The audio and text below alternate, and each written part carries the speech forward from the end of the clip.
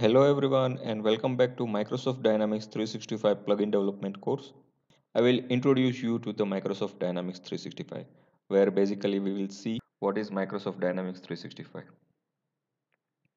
So as per the Wikipedia definition, Microsoft Dynamics 365 is a product line of business applications that combines components of customer relationship management that is CRM and enterprise resource planning that is ERP along with its productivity applications and artificial intelligence tools.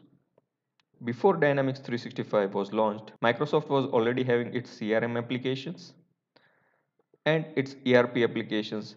They both were separate and Microsoft was selling both these different group of applications into a single branding name called Microsoft Dynamics. So you had your Microsoft Dynamics CRM instance. In Microsoft Dynamics CRM, you will have sales, marketing, and service module out of the box. The moment you subscribe a CRM instance, you will get these three modules out of the box.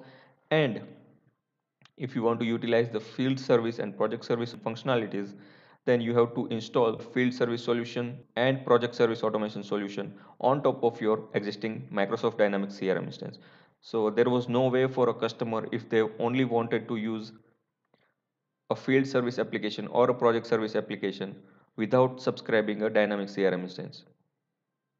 And similarly, on the ERP front, Microsoft was selling these many different applications under its ERP umbrella. So you had Microsoft Dynamics AX, Project Madeira, Microsoft Dynamics NAV, Microsoft Dynamics SL, and Microsoft Dynamics GP. So now think from a customer's perspective. If a business needs to utilize the CRM and its ERP applications, then customer had to face so many problems with this different group of application. Number one problem they faced was the maintenance of these applications was a tedious job. And the second problem which a customer had to face was they have to purchase different licenses for the number of applications they want to use and the third and one of the biggest challenge that customer faced was if at all their business requirement was such that both this crm and erp application needs to communicate with each other in order to perform a business scenario then then the, it was on customers behalf to lay down the integration architecture and it was very difficult to achieve real-time synchronizations among these two applications so before Dynamics 365, both CRM and ERP modules were separate. Customer had to purchase separate licenses for different group of applications and the database of both ERP and CRM applications were separate. So there was no built-in integration among these applications. So with Dynamics 365, what Microsoft has done is they have combined their CRM and ERP modules into a single product line of business application called Microsoft Dynamics 365. So now what was earlier CRM sales module is now called Dynamics 365 for sales application. Previous marketing module of CRM is now called as Dynamics 365 for marketing. Earlier service module of CRM is now called as Dynamics 365 for customer service and similarly earlier field service module is now called as Dynamics 365 for field service and likewise project service automation is now called as Dynamics 365 for project service automation. And on ERP side, the earlier Microsoft Dynamics AX and Project Madeira are now grouped together into a single application called Dynamics 365 for Finance and Operations. And with Dynamics 365, Microsoft has launched two more applications called Dynamics 365 for Talent and Dynamics 365 for Retail. And recently in October 2018, Microsoft has, has launched a new application called Microsoft Dynamics 365 Business Central, which has acquired all the functionalities of Microsoft Dynamics NAV, Microsoft Dynamics SL and Microsoft Dynamics GP. So this is the very recent addition to this Microsoft Dynamics 365 family of products. And with this, the CRM side of Dynamics 365 is now called as Dynamics 365 Customer Engagement Application. While on ERP front, Microsoft has combined the earlier Dynamics AX and Project Madeira into single application called Dynamics 365 for Finance and Operations.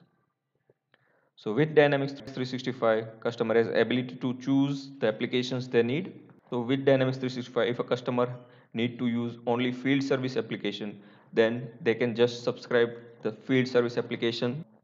So they do not have to subscribe for CRM instance anymore. They can directly subscribe the field service application. And after sometimes, if they plan to utilize sales module, then without doing any changes, they can happily just subscribe the Dynamics 365 for sales application in their existing field service instance. The all the functionalities of Dynamics 365 for sales will be available.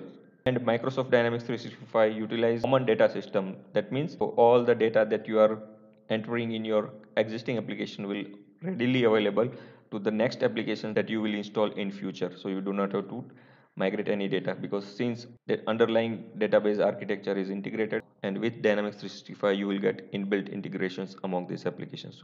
You do not have to perform any external integrations in order to make data available from one application to other applications. This is the real power which Microsoft has offered to its customers by combining both its CRM and ERP applications. So having said that, only the CRM applications or the customer engagement applications are within the scope of this course. So if you are here to learn any of the ERP module, then definitely this course is not for you. So just wait for some time. We are going to launch courses for ERP side as well. And we have already launched an introductory course for business central applications as well. And similarly, we are going to launch such courses for other ERP applications as well. So on that note, I wind up this lecture and in next lecture we will see the target audience and prerequisites before taking up this course i hope that you like this introduction about dynamics 365 and see you all in the next lecture. Till then bye bye and take care